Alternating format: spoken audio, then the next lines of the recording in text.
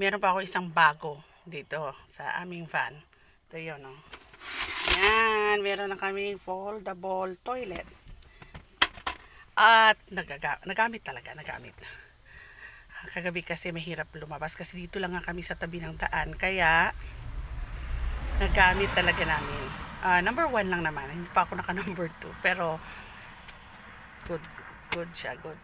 Ayan, nandito kami, oh. Sa tabi ng daan. Ayan siya, oh. Ayan. Dito lang kami naligo kagabi. Sa gilid. Oh, dito lang. Maano kasi, mahirap nang bumaba doon sa aming pu- pinupuntahan. Ayan. So dito kami may dalawang car dito kagabi, tatlo kami dito nakapark although kami lang ang tulog doon yung aming campsite papasok. So ito. Dito ko naranasan kagabi magligo lang talaga sa tabi ng daan. Tsaka dito kami natulog sa tabi ng daan as in. Ito ay ang mga dumadaan dito mga fast na mga sasakyan ng biyahe. Pero katulog naman kami. adventure talaga ano. Okay, wala na ah, praise God, walang masamang nangyari and we were able to have a good night's sleep.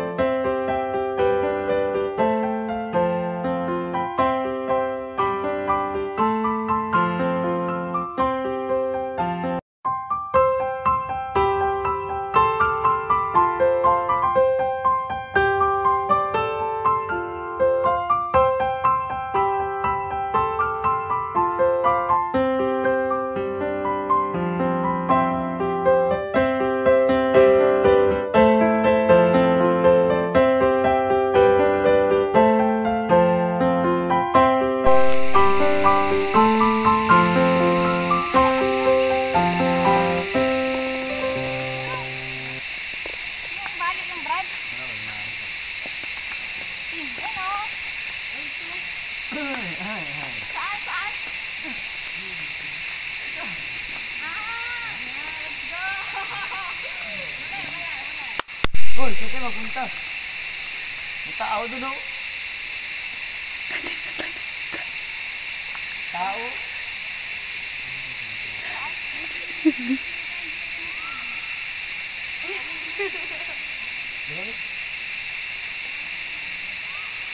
Ang station station, sir? Ah, tama nga to. Eh, ba't kasi pumunta doon? Pumunta kasi doon, oh. Tama nga yun. Wala sinabi si Chap na may station station. Sinabi ba nila sa inyo na ano, bawal kayo mag-ingay? Ay, wala. Bawal daw maingay. Mm Wala sinabi si Sir. Ah, sige. Kasi kung maingay kayo, maririnig kayo ng Marinig kayo ng ibang Iba. grupo, malalaman nila na Kahit ito yung, yung kahit yung station. tunog ng paa, huwag kayo maingay. Ah, sige. Okay. Ang gagawin niyo? Wala, wala. Dito kayo. Kayo, Parang, parang. Parang, pa, pa, singit si kayo. Ikaw sa tayo, mo to, Ate. Pangs. Mag-parcel. Ang salat na ha, hindi. Ah, ang salat. Sir, reporting for duty, sir.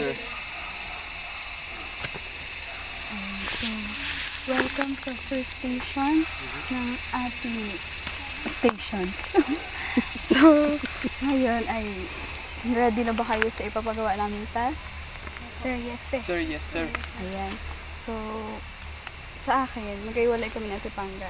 So, sa akin ang ipapagawa ko sa kanya, sa inyo, isa-isa kayong magre-recite ng pledge and law. Memorize naman ba? Sir, yes, sir. Very good. So, sige. Sino mauna sa inyo? Ito na lang. Okay. Pledge. By the grace of God, I will be pure and kind and true. I will keep the Pathfinder law. I will be a servant of God and a friend to man. Law. The Path- The Pathfinder law is for me too. Keep the morning watch. Do my honest part. Care for my body. Keep a level eye. Be cautious and obedient. Walk softly in the sunlight. Keep a song in my heart. Go on God's air. Tuloy na, tuloy. With the grace of God, I will be pure and kind and true. I will keep the Pathfinder law. I will be a servant of God and a friend to man. Ay, hindi sabay-sabay isa isa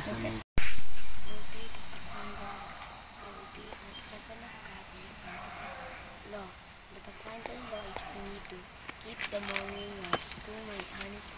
Care for my body. Keep the level eye. Be coordinated and patient. Walk softly in the sanctuary. Keep a song in my heart and knowing God's ends. Okay, next. Mm -hmm.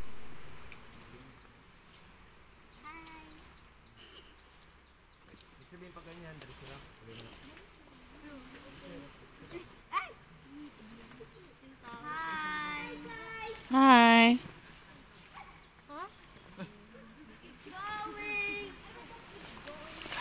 Video-video lang. Oo, may turo. Sabihin hindi English.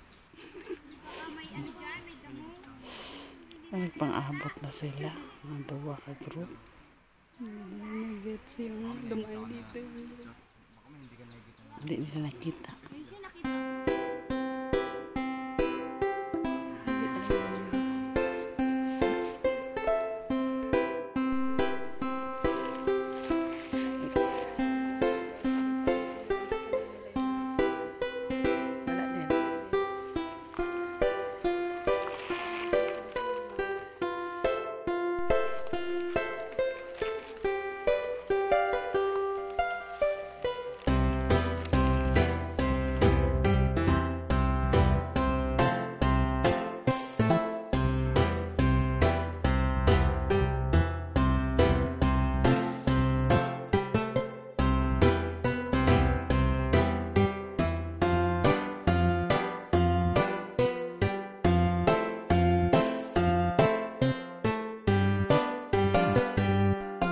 Basta pagandahan kayo, pili kayo, pili lang kayo ng pwesto dito sa area na to. Dito dyan, dito lang nga sa area na to, wala nang pupunta dito doon.